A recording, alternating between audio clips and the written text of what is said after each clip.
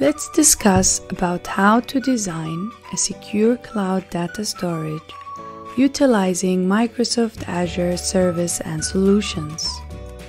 As enterprises move further along the cloud adoption curve, cloud storage security is becoming a top priority, both in enterprises' IT architecture and information security strategies.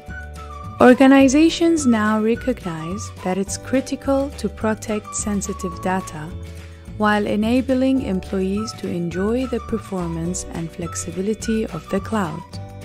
Cloud storage providers and enterprises share responsibility for cloud storage security.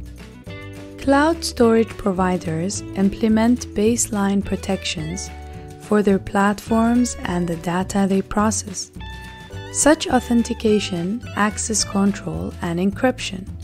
From there, most enterprises supplement these protections with added security measures of their own to bolster cloud data protection and tighten access to sensitive information in the cloud. Azure Storage is the cloud storage solution for modern applications that rely on durability, availability, and scalability to meet the needs of their customers. Azure Storage provides a comprehensive set of security capabilities through 1. The storage account that can be secured using role based access control and Azure Active Directory. 2 Data can be secured in transit between an application and Azure by using client-side encryption, HTTPS or SMB 3.0. 3. Data can be set to be automatically encrypted when written to Azure Storage using Storage Service Encryption. 4. OS and data disks used by virtual machines can be set to be encrypted using Azure Disk Encryption. 5. Delegated access to the data objects in Azure Storage can be granted using shared access signatures. 5. The authentication method used by someone when they access storage can be tracked using Storage Analytics.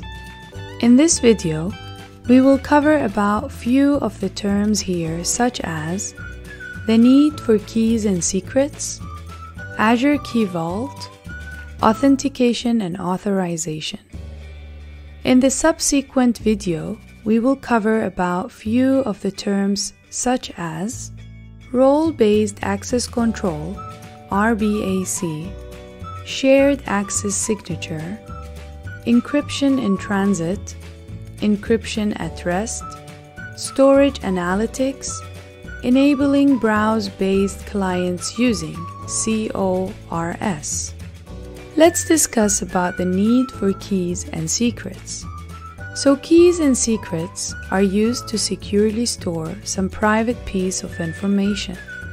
It could be a password, a storage key, certificates, also it could be SSL used for encryption. So what is a key? A key is a cryptographic key represented as JWK, JSON web key. Example Store a.pfx certificate file that contains a pair of public and private keys. Secrets A secret is a piece of data under 25 kilobytes at common time that can be stored securely, encrypted on that HSM, and then retrieved. What is an Azure Key Vault? As developers, will have often configuration secrets in their code. But what if we don't want to put configuration secret things in source code? What to do in this case? In this case, Azure Key Vault comes into play. But before getting into the solution, understand that Azure Key Vault provides several different types of storage. This would be very useful for passwords, connection string to a SQL database, storage account key. Azure Key Vault stores private data securely and be able to read it back. It is HSM protected and software protected. At rest, it is securely stored inside the HSM. It is pulled into compute virtual machines, and so the key is in the VM memory. Azure Key Vault's hardware security module, a HSM, a really hardened device, is the gold standard in protection and can be used to achieve the solution. All the keys and secrets will be sorted in HSM, and the application will be assigned access to access the connection string from the HSM. So the application now need not to have an open connection string on the application program itself. The connection string will remain hidden in Azure Key Vault and can be accessed by application only when the application is authorized to access a certain connection string.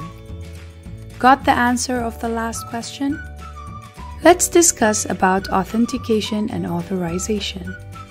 So right people or the right applications can interact with the various resources. Azure AD is used for the authentication. Azure AD OAuth 2 token is leveraged with Azure Key Vault to prove who the requester is. Azure AD can set access control levels on every single resource. Let's discuss about some of the roles of authentication and authorizations. Key Vault Owner So a Key Vault owner can create the vault and can grant various people permissions to add and remove keys. Key and secret owners. So a key and secret owner can create the keys, the secrets, the certificates, and can add, for example, applications into Azure AD.